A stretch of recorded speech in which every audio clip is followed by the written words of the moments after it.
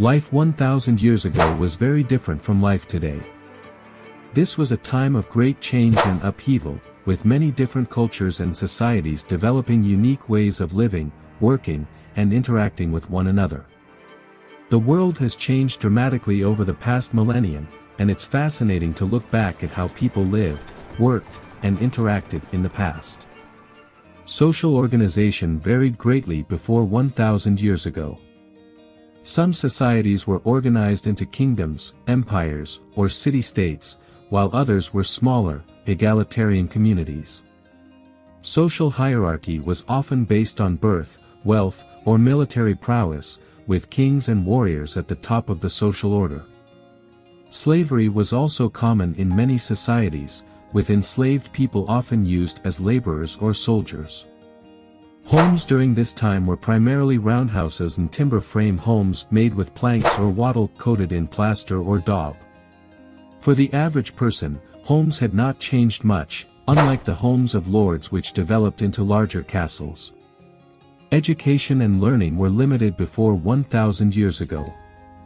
Literacy rates were low, and formal education was often reserved for the wealthy or religious elite.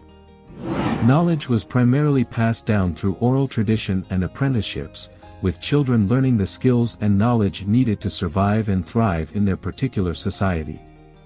Art and culture varied greatly across different societies before 1000 years ago. Some societies developed elaborate artistic traditions, creating sculptures, paintings, and textiles that reflected their unique culture and beliefs. Music, dance, and storytelling were also important parts of many societies, providing entertainment and a sense of community. Health and medicine were also very different before 1000 years ago. People had a limited understanding of diseases and often relied on traditional remedies and practices to treat illnesses.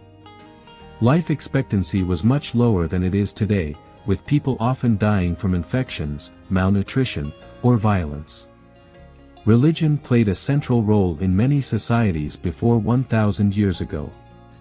Many people believed in a variety of gods and goddesses, and religious practices often played a key role in daily life. In some societies, religious leaders held significant power and influence over their communities.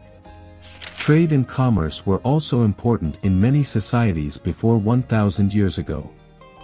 People traded goods and services with one another, often traveling long distances to do so.